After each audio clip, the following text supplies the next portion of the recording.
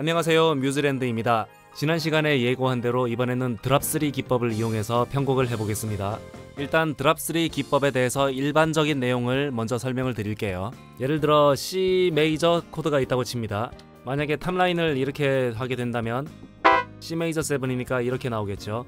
top line에 있는 음이 이렇게 root 음으로 와서 C 메이저 7을 쌓게 되면 자연스럽게 top line 쪽에서 음이 반음으로 만나게 되죠. 이렇게 되면은 drop 3는 쓸 수가 없습니다. drop 3를 쓰기 위해선 조건이 붙습니다. 그 조건이 뭐냐면 맨 위에 있는 소리가 3도로 만나야지 쓸 수가 있는 겁니다. 근데 만약에 C 메이저 7을 탑라인을 이렇게 해서 만들게 된다면 이런 화음의 형태가 될 테고 제일 위에 있는 두 소리가 3도로 만나게 되어 있죠. 이때 드랍 3를 쓸 수가 있습니다.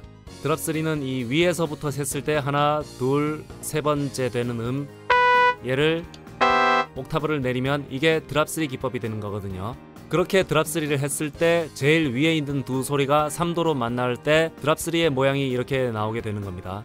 또 다른 형태 해볼게요. 탑라인이 이렇게 만들어졌을 때 마찬가지로 맨 위의 소리가 3도로 만나고 있으니까 당연히 드랍 3 가능하고요. 그래서 드랍 3를 만들 수 있는 조건이 뭔지는 알아봤는데 만약에 아까처럼 탑라인이 이렇게 나오게 돼서 맨 위에 두 소리가 2도로 만나게 될 경우는 드랍 3를 쓸 수가 없다고 했는데 그러면 이때는 어떻게 되냐면 드랍 2를 하면 됩니다. 이런 모양이 되는 거죠. drop 2를 해서 그리고 새로 생긴 두 번째 음을 하나 올려서 텐션으로 만들어주면 drop 2의 모양이 완성이 되는 거예요.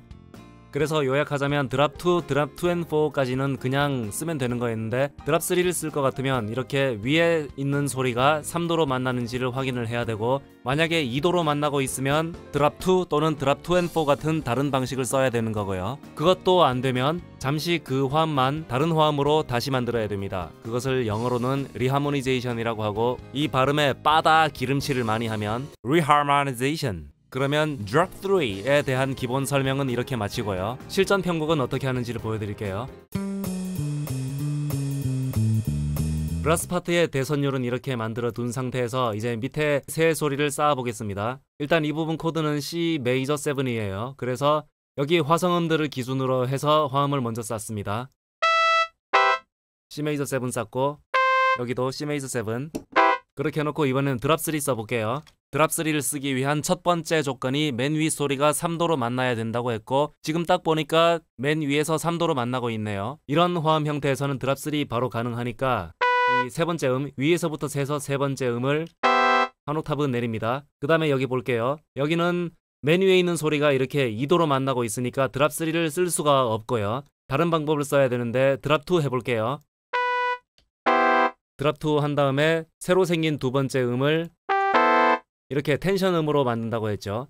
그래서 잠시 이 코드는 C 메이저 7하고 13 텐션 음을 넣은 코드가 되는 겁니다. 그러면 이대로 해서 그대로 밑에 소리에 다 넣어 볼게요. 다 배치했으면 필요 없는 거 지웁니다. 그 다음에 G 메이저 7 갈게요. 똑같이 drop 3 한번 써보겠습니다. 우선 밀집 위치에 화음을 쌓아보면 이런 형태로 나올 테고요. 제일 위에 있는 소리가 이렇게 3도로 만나고 있으니까 당연히 drop 3 쓰면 되는 거죠. 그래서 위에서부터 셌을 때 세 번째 음 root 음이 되네요. 얘를 옥타브 내리고 이렇게 drop 3 형태가 만들어집니다. 그 다음에 drop 3를 했을 때 굳이 어떤 음을 바꿔서 뭐 그 코드의 텐션으로 맞는다 그렇게 할 수가 없게 돼 있어요. 이렇게 drop 3를 했을 때 새로 생긴 두 번째 음, 세 번째 음 뭐 이런 걸 보니까 일단 두 번째 음을 봤을 때 G-7의 3음이에요.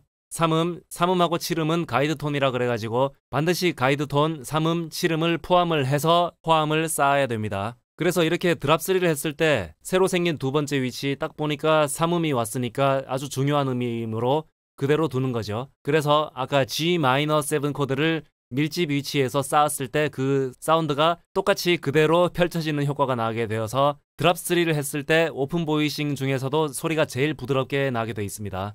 그러면 밑에 성부에다 그대로 펼쳐서 쓸게요. 소리 들어볼게요.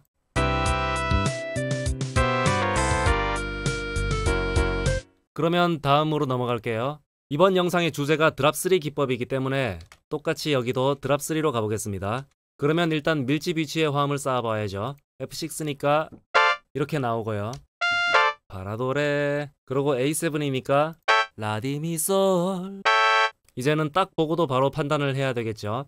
제일 위에 있는 소리가 지금 3도로 만나고 있으니까 당연히 드랍 3 됩니다. 둘 다. 그래서 위에서부터 세봤을 때 세 번째 음은 이거 옥타브 내리고요. 여기도 마찬가지 위에서 세 번째는 C샵이죠. 이런 모양이 되게 됩니다. 이렇게 드랍 3를 하고 나면 항상 제일 위에 있는 소리는 3도로 만나게 돼 있어요. 이렇게 했으면 밑에 성부에다가 다 풀어서 쓰면 되겠습니다. 이렇게 해놓고 오늘 한 부분 들어볼게요.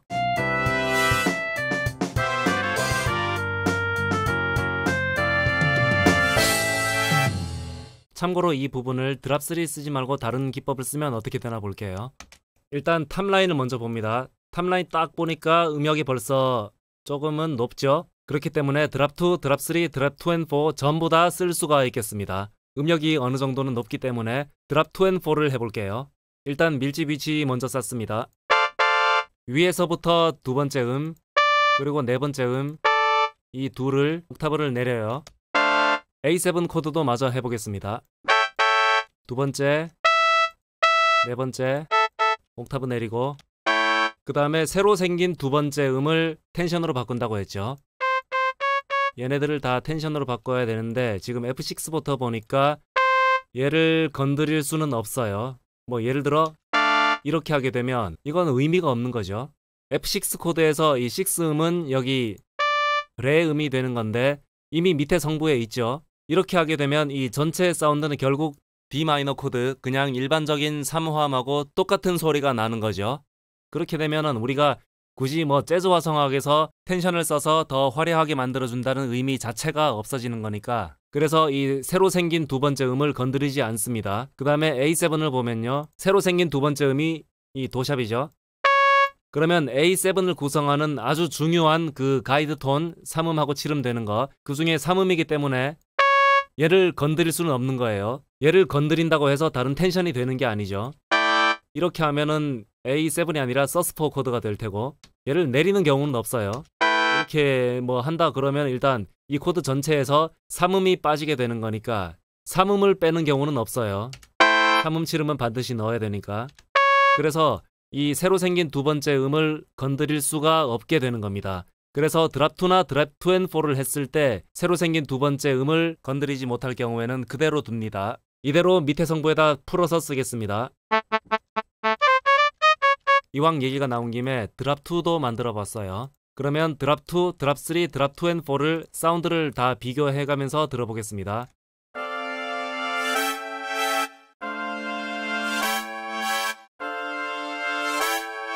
아주 미묘한 차이입니다. 잘 들어보세요.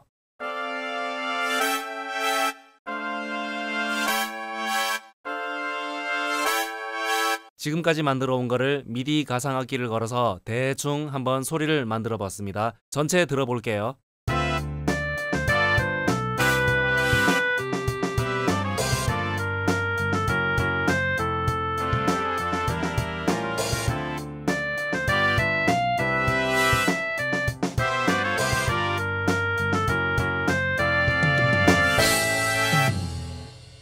방금 들어봤던 거는 브라스 파트를 화음으로 쌓았을 때 이런 사운드가 난다라고 하는 거였고요. 똑같은 탑라인이지만 유니즘만 했을 때의 사운드하고 한번 비교를 해볼게요.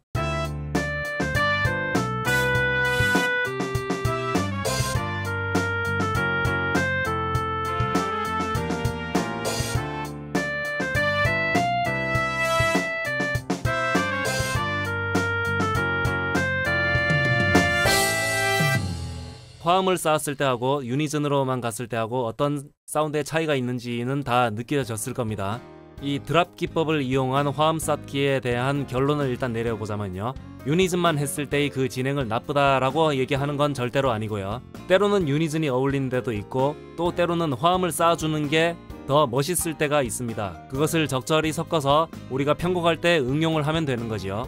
모든 파트가 이렇게 똑같은 리듬으로 화음을 찔러주는 역할을 할 때 이렇게 섹션 연주를 할 때는 화음을 쌓아주는 게 더 어울릴 수도 있겠고요. 그리고 이런 부분, 이런 선율적인 진행을 할 때 이런 부분은 다 그냥 유니즌으로 가도 그렇게 문제는 없어 보입니다.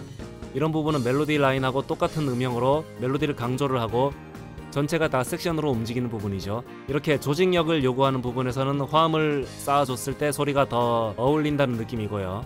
그러니까 그동안 유니즘만 해가지고 편곡을 했던 분들은 가끔씩 이렇게 화음을 쌓아서 소리를 꽉 채움과 동시에 리듬감도 표현할 수 있는 그런 시도를 한번 해보는 것도 괜찮을 것 같습니다. 그럼 다음 영상에서 또 뵐게요.